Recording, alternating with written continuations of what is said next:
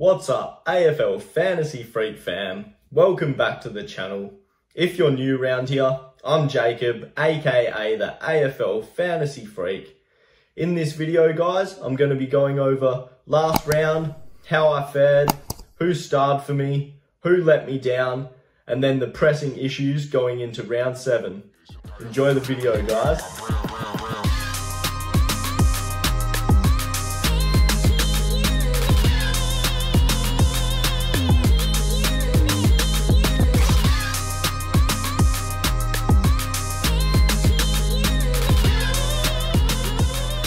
Jumping straight into it, guys. This week I managed to score 22-44, which was pretty respectable. I had a couple players that let me down, but for the most part, my team was pretty solid. Started off on Friday night, Macrae VC, 159, absolute piglet. A couple of the other guys that went big for me, we had Andy Brayshaw, so he pulled through with 121. I thought he was going to get attention from Kane Turner, and from what we'd seen in previous weeks where he'd gotten tagged, I thought that a 60 or a 70 could be on the cards, so it was great to see him pump out 120. We also had Sam Docherty, who scored 126. He's been solid this year, but he hadn't shown that big ceiling score that we'd seen in previous years, so it was good to see him go big and show that he's still got that level in him. And then, whilst I had plenty of other guys score well, the big one for me this week was Darcy Parish. My boy pulled through big with 150. I've been praising him for the last few weeks about how he's going well and that rolls there and he's got that big score around the corner. And we saw it this week 42 disposals, two goals an absolute huge score. So at 2% ownership, that was huge for me this week. A couple guys that let me down. We had Jayden Short, who scored 75, back-to-back 70s now, and it doesn't look great with Hooley in the side, but at the same time, the way in which those last two games have been played, it hasn't been great conditions for him to go well. So I'm still confident he can be decent this year, but he doesn't look to be a top six defender at this point. The other two negatives I had, I don't like giving my negative threes to rookies, but I did have Jackson Macrae and Jay Rantall on the field. Unfortunately, both these boys scored in the 20s. Not great, not what you want to see, and essentially prevented me from having a big round this week. Nathan Buckley lack of midfielders, you'd think that he'd give these kids an opportunity, throw them in the middle. He's played Thomas and Brown in the centre instead, so obviously got no clue. He's probably scared of losing his job, and rightly so. Collingwood have been terrible this year. Hopefully, he gives these kids another chance and plays them in a role where they're suited. Jay Rantall, for example, spent all his time inside forward 50 the kid's strength are through the middle, so give him a go through the middle, Buckley, you wanker. As I stated, I scored 22.44 this week, and as a result, I've moved up 2,000 places, so my current rank's 13 14. I'm pretty happy with this. I'm in a good position. Um, and my team values at 15.68 mil. So not ideal and it's not at where the top level teams are. And there's a couple reasons for this, which I'll touch on later in the video, but I did make a couple mistakes with my trades this round.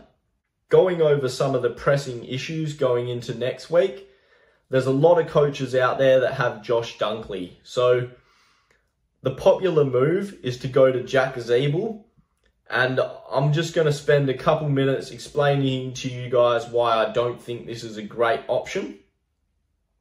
Ziebell has looked fantastic at halfback. He's getting the chip mark, he's taking the kick-ins, and he showed he's got a super high ceiling this year.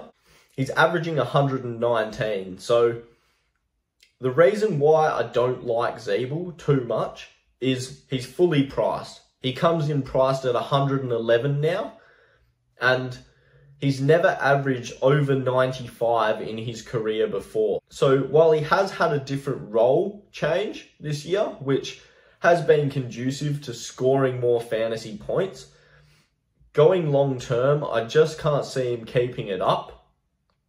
I think that while he has been scoring a lot and getting a lot of the footy in defense, he's made a lot of errors. He's turned the footy over and his opponents have been kicking lots of goals on him. So I think when North get Aaron Hall back, um, they could potentially look at some other defensive options. Commentators over the last few weeks have been talking about getting him up into the midfield, using his leadership around up around the footy a bit more. I don't know if North will look at this as an option, but it's got to be something that's floating around within their ecosystem. He also has a super long injury history, and that can't be great. We're seeing lots of players get injured with the reduced rotations. He's got to be in for a rest at some point, potentially. And if you're paying that much for him, you want a guy who's stable, who's going to score 110 to 120 every week for you for the rest of the year. And I just don't think that Jack Ziebell is that guy. I think that at that price, he's missed the boat and there's better options around. So, for example, I quite like Steele Sidebottom. He looks to be back into the midfield now. He's had some games under his belt. He looks like he's back to his best and he pumped out 130 on the weekend. He's primed for the picking. He has a nice matchup against Gold Coast this round it also saves you another 60k from going to Jack Ziebell. So I like him more. I like Nat Fyfe more. I think some of these guys, they give you more cash and we're seeing that these rookies on the field are scoring poorly and the priority needs to be to get them off the field as quick as possible. So getting a cheaper guy in the forward as a Dunkley replacement can give you some cash which can go towards an upgrade, whereas Ziebell is essentially a straight sideways move and it doesn't give you any money to work with going forward into the future. I think that if you want to go for a straight swap type, you've got to be chasing a big midfielder like a Clayton Oliver, for example, someone that's proven, someone that you know is going to be top quality for the whole season. Finding a Josh Dunkley replacement is obviously going to be a big talked about issue this round, guys. So I'll spend a bit of time through the week in some articles, in some other videos, outlining some potential options for you in a bit more depth. As I stated at the start of the video, I did make a couple mistakes with my trades this week. And while I'm not disappointed points wise, I'm disappointed in the choices that I made and potentially some of the thought process that went through my head this week. So I ended up trading Errol Gulden to Tom Mitchell. And then with my second trade, I ended up opting to go for Jay Rantall, who I thought would get more opportunity and have a pretty high scoring ability. My original trades, I'd gone with Dyson Heppell and Miles Bergman. So I lost out on 40 points there, but I also lost out on the cash generation of Bergman. And I just wanted to touch on that quickly. I think looking at some of the top sides and their team value and where their side's at, I should have opted to chase some of these good rookies last week, such as Jai Farah, Miles Bergman, potentially a Deven Robertson. These types that look like quality players this year, rookies, they're hard to come by. And so I think I should have probably got on some of these guys. They look like they're going to be around for a while and generate that cash. This week, I'll probably be looking to bring in one or two of these types potentially, fix up my bench and try and get some more cash generation because I'm limited in cash generation so far. My bench isn't looking that great and I need to be able to get more money in order to get these upgrades going forward. So not having Dunkley, not having any forced trades as of yet, that's probably going to be my priority this week. And I don't like doing double downgrades, but I need to get my bench sorted, especially going into the byes. I need to get set for that. I need to have good structure and I need to make sure my team's in a good position long term. I don't tend to do these round review video guys as I'm not sure how valuable they are to you. So if you guys like to see me talk about my team, talk about how my trades went, where I'm ranked, how I scored for the round, etc., let me know below. Give this video a thumbs up if you've enjoyed the video, guys.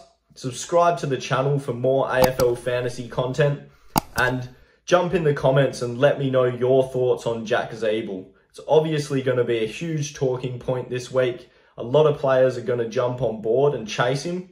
So I want to hear your comments, your thoughts, and if you're going to get him or not. As always, thank you for watching the video, guys. And until next time, keep climbing up the ranks. Look, I'm about my pledge, bitch. I'm decked up on blue bills, and I won't stop until the cash pit like fall leaves in the. Tell her out of my face if she coming with that bullshit. To my I'm so after school.